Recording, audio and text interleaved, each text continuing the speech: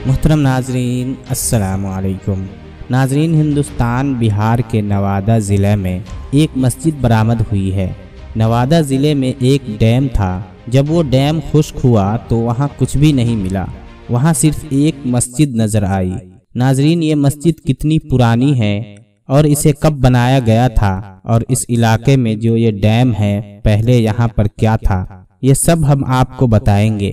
लेकिन उससे पहले आपसे गुजारिश है कि वीडियो को लाइक कर दें और चैनल को सब्सक्राइब करके साथ में लगे बेल आइकन को भी प्रेस कर दें। नाजीन कुदरत का करिश्मा तो देखिए कि कहीं सूखा है तो कहीं पानी ही पानी है। बिहार के नवादा में इन दिनों बहुत ज़्यादा पानी की किल्लत है। कई सारे तालाब हैं वहाँ के जो खुश्क हो गए हैं। ऐसा ही वहाँ एक बड़ा डैम था। वो भी खुश्क हो रहा है। बिहार के नवादा ज़िले में राजौरी ब्लॉक है और राजौरी ब्लॉक के चार किलोमीटर की दूरी पर एक गाँव है, जिसका नाम हरदिया है। उस गाँव से मिला हुआ एक डैम है, जो बहुत पुराना डैम है।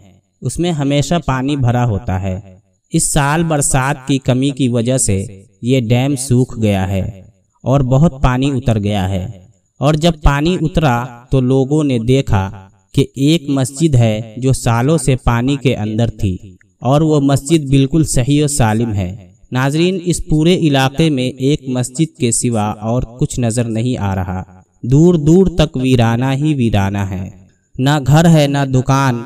इससे पहले यहाँ लपालप पानी भरा हुआ था। और जब पानी उतरा तो ये मस्जिद नज़र आया। नाजरीन, ये जो मस्जिद है, कोई आज की बनी हुई मस्जिद नहीं है। ये मस्जिद पत्थरों की बनी हुई है। और कम अज कम चार सौ साल पुरानी मस्जिद है।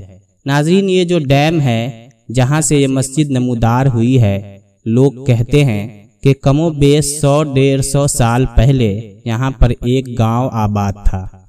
लोग आबाद थे, घर बार थी, बाज़ार भी थे। लोगों का कहना है कि वहाँ एक बहुत बड़ा बाढ़ आया था, जिसमें वो सारा गाँव डूब गया था, और साथ में वो मस्जिद भी डूब गई थी। अल्लाह ताला की कुदरत कि उस गाँव का अब कोई भी निशान बाकी नहीं है। न कोई मकान है, न कोई दुकान। लेकिन वो मस्जिद जो अल्लाह का घर है, ऐसा लगता है कि अभी बनाया गया हो।